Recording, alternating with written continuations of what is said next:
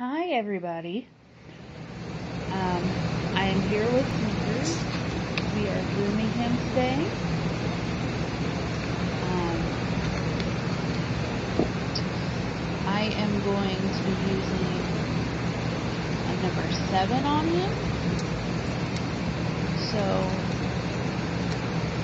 let's get started.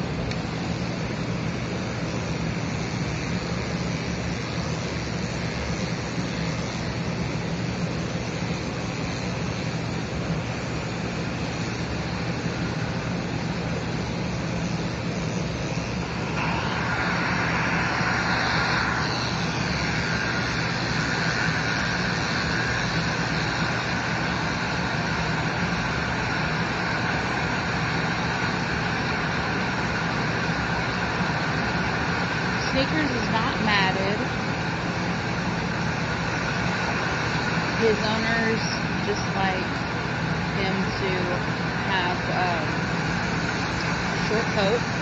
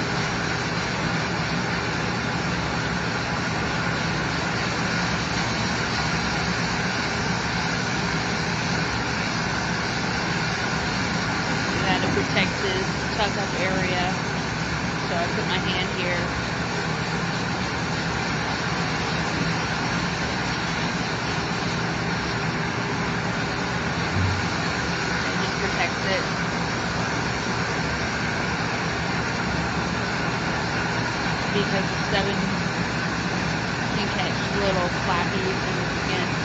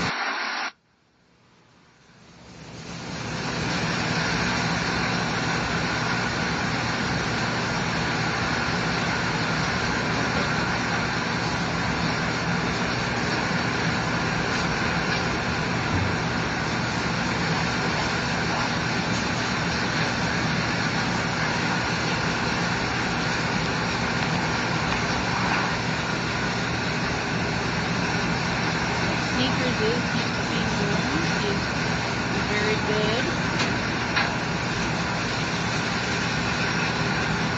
Again, you gotta be really careful around the, the front legs because it's loose skin. So I position them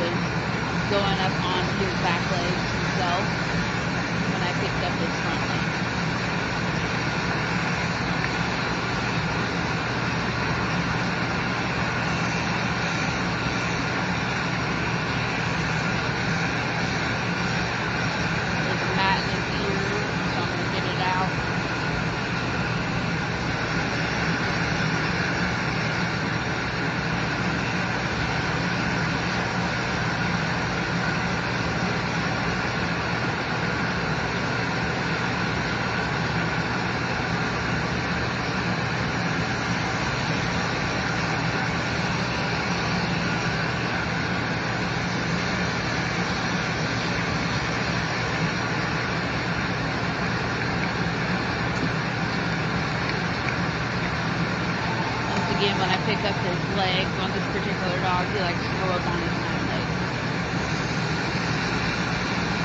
Now I'm just scooping out in between his eyes before the bath, so that area will be easier to watch. Because a lot of times, it, um, around the eyes, gets a lot of buildup. Now time to pluck the ears. The ear powder. He doesn't have much in there, so it only takes a couple of times. Now for the other ear, his ears are pretty oily. So I'm gonna clean those out in the tub.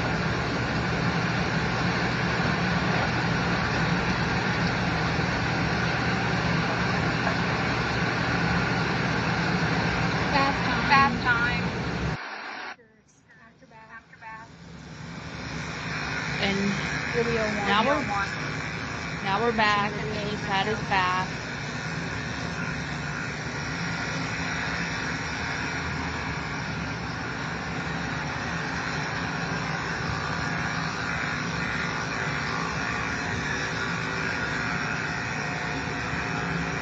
Now I'm just smoothing him out with a seven.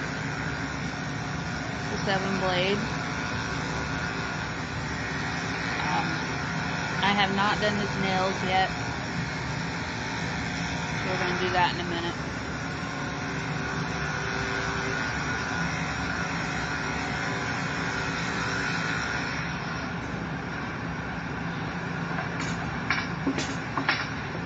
Had to sit down.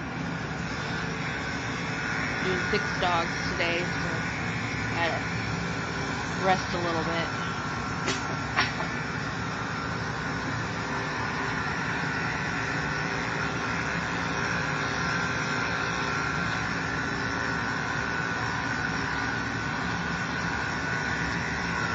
I would like to point out that I am voicing over this. I am not talking while I'm grooming in order to save time because I am pressed for time.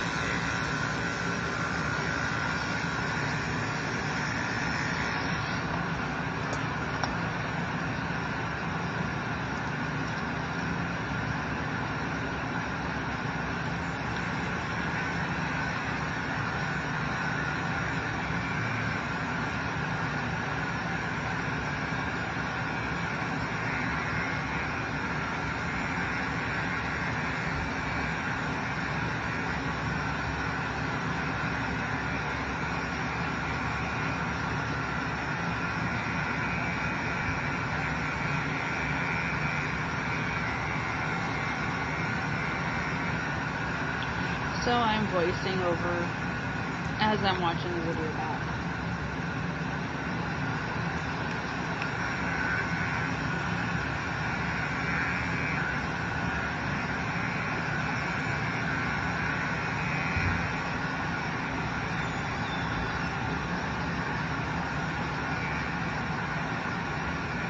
The sanitary area.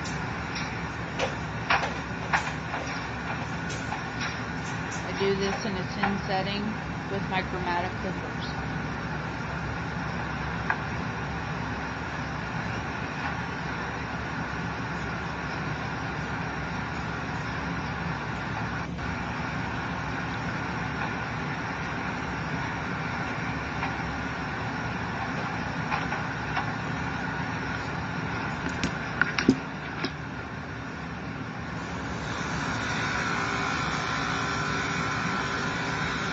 I'm back in the seven. Smooth out his back leg.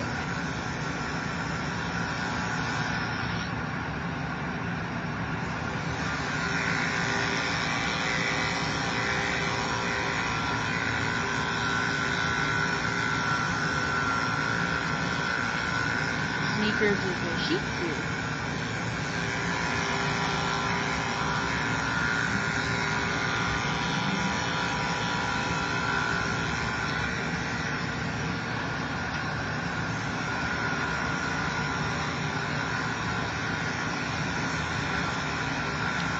Very good. Like I said, he's a really good boy.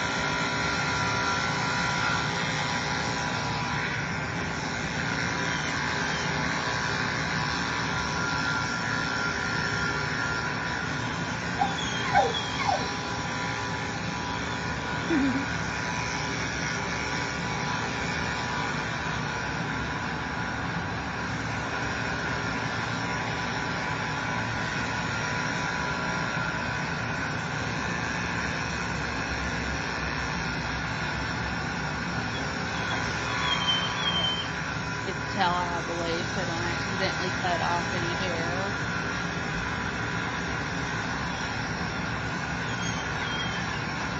And the reason I lift one leg up while I'm working on the other leg because a lot of times it's easier um, on the dog and as myself, as well as myself.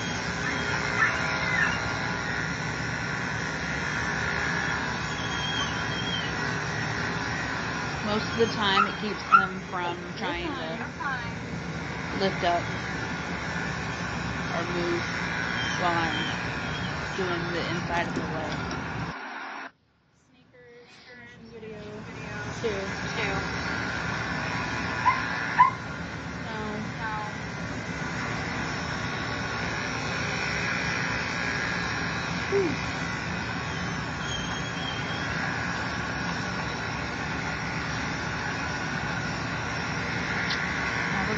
do the front leg.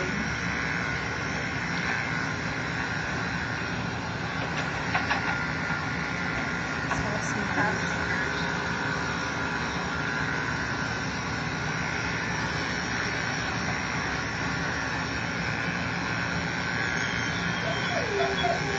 Sometimes they like to move around a lot. Or they'll pull their leg back while you're working on them. So when I'm doing like the inside of one leg, I'll lift up the other leg to try to prevent it and make it a little bit more comfortable for the dog because uh, lifting up a leg or whatever can sometimes be uncomfortable.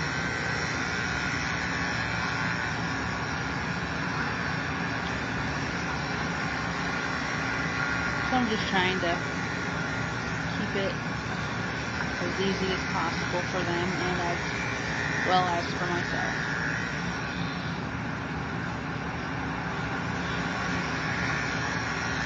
Yeah.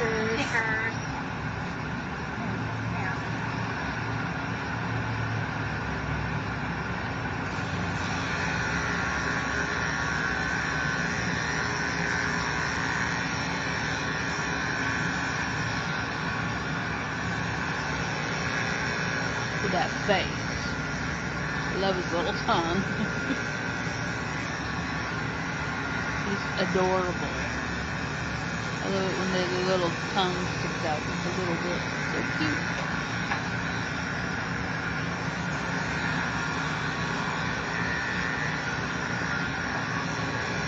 Pulling a little bit. They pull, when I say they're pulling, I mean they're yanking their leg back when I'm holding it. They're pulling it back away. Makes it kind of hard to do their legs.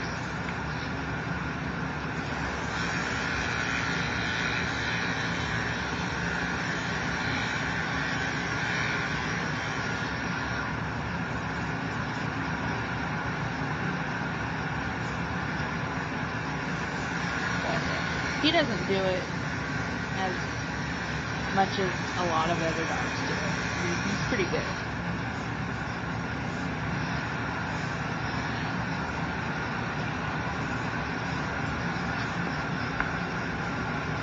It's just some pulling, not a lot.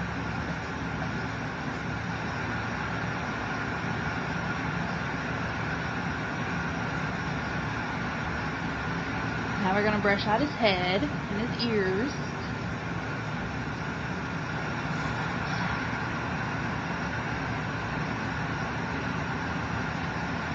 You might be wondering why I don't have the loop on him. It's because I know this dog and he's not going to go anywhere. And plus, it's easier from when you're sitting down to take the dogs off the loop because you can position them better when you're not having to worry about the restriction that the uh, loop puts on it.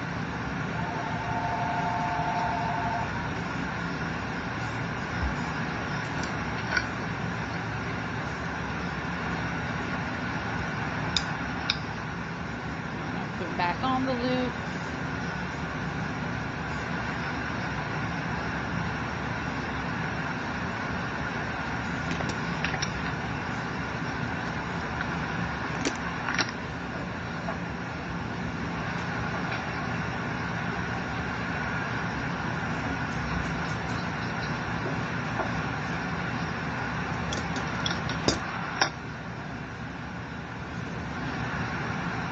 Do his nails now. So good.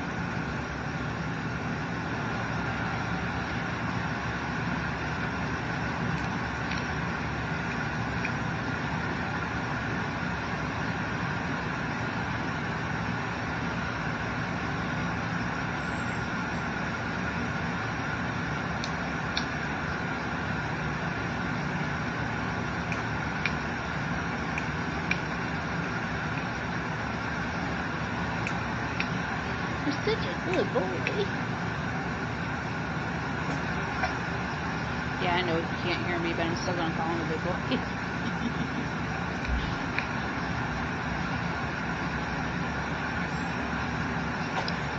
I'm just gonna let him sit down while I clip the back nails, because that's what he wants to do.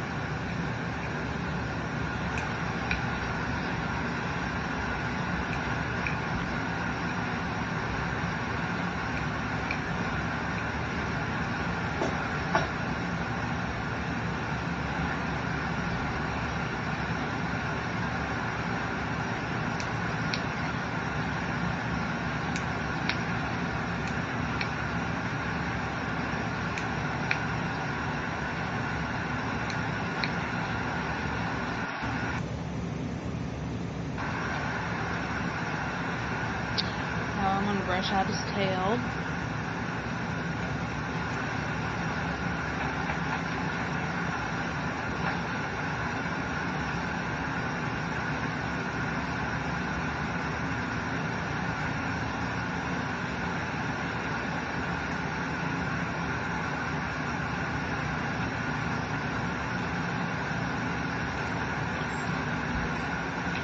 He didn't have any mass in his tail, so that was pretty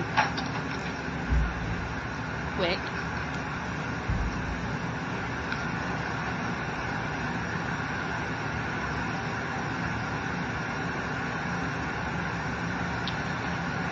Now I'm just going to clean out his pads with a 30 setting on my Chromado clipper.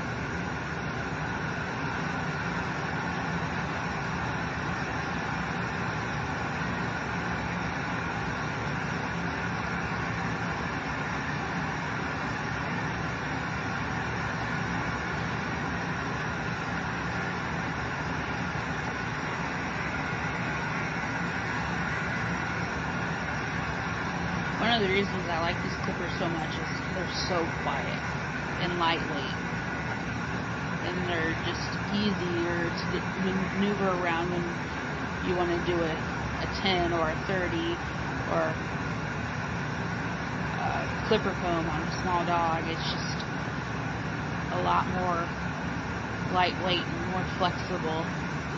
So that's why I use them but I don't like to use them on dirty dogs because it dulls the blade. Uh, is it a 5 in 1 clipper blade?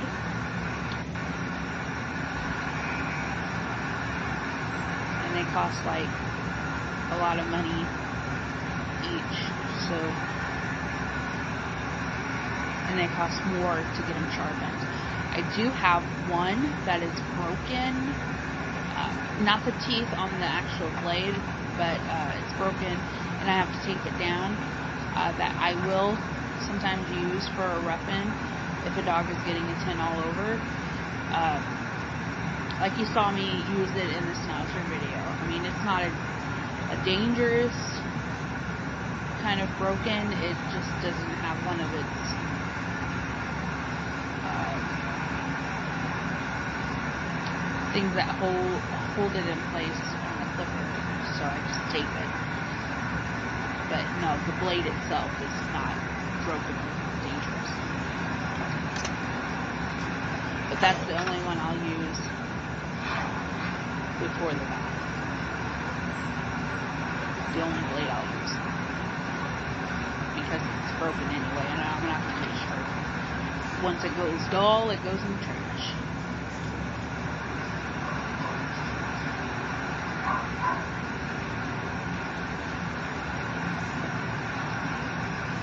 Was r- really new when I broke it too.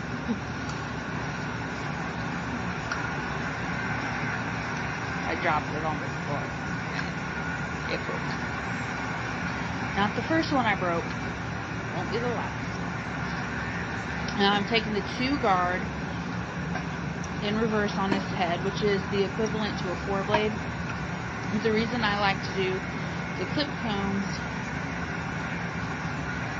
instead of the number four is it one the clipper is lighter and I was taught in grooming school to do the guard comes on the head instead of blades, and it just makes it look smoother if you go in reverse with a uh, clipper comb than it does if you went with the grain with a blade of the same equivalent size. Every groomer does it differently. This is just what I prefer to do. I am taking it all over in reverse on his face. This dog, um, see, I've looked in his mouth to see why he uh, was upset when I took the clipper around his mouth. It's because uh, he has some pain inside his mouth. So I am just trying to get it done as quickly as possible so I can get away from his uh, mouth where the pain is. And I did tell his owner that it seemed like he was in pain inside his mouth. So they would be aware of the situation and they can ask their vet what they can do to help the situation. And they can get, they, the vet can look inside his mouth and see what's going on.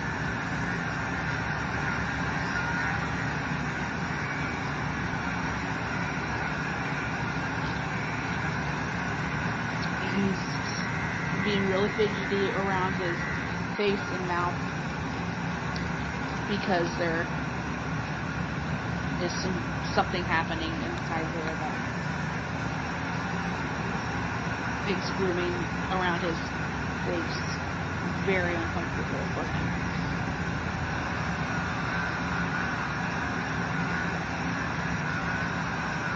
So I'm just trying to do it as quickly as possible and I'm trying to stay away from the area that seems to be painful for him.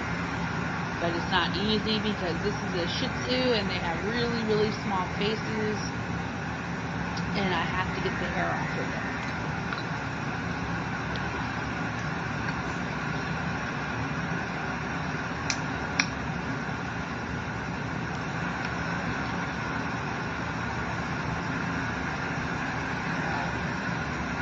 Just pulling away. So I'm gonna go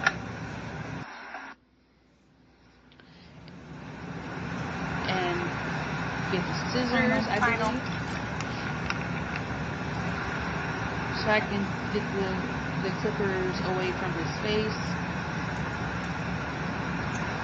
And to get that little bit of hair that he was not letting me get with the clippers. Sneakers, sneakers.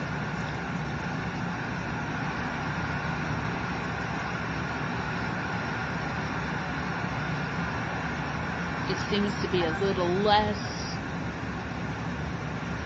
uh, troublesome for him to get the shears out and just scissor around that, those areas where he was pain sensitive probably.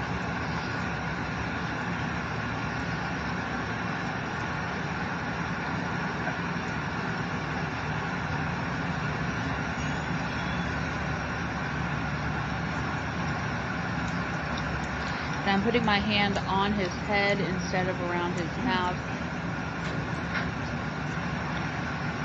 So you may not be able to see it, but it is more comfortable for him than me holding on to his hair around his mouth at this time.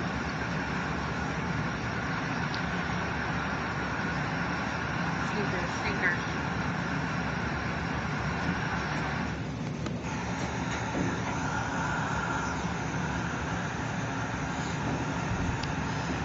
Yeah, we're just still shaping up his head.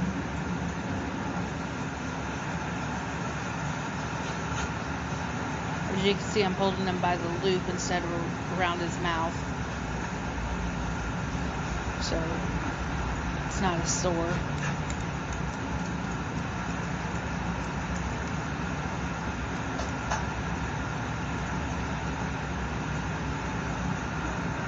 I put my thumb in front of his nose. Well, not in front of it, but like directly under it. On his mouth. Kind of holds the head in place when you're doing some scissoring. And it also keeps them from sticking out their tongue and getting it with the scissors. So that's not something anybody wants to do.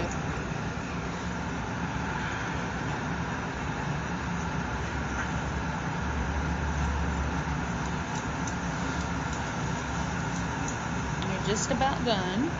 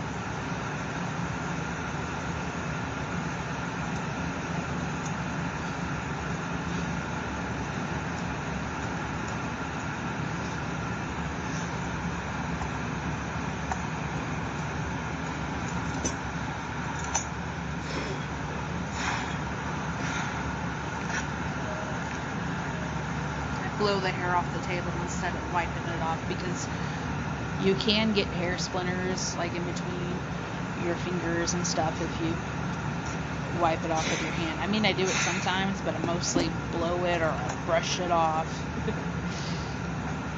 Unless it's like a big wad of hair. I usually don't just wipe it off with my hand.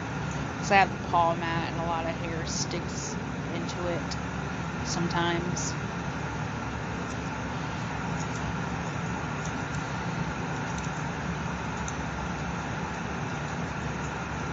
So I usually just wipe it down with a washcloth or small towel.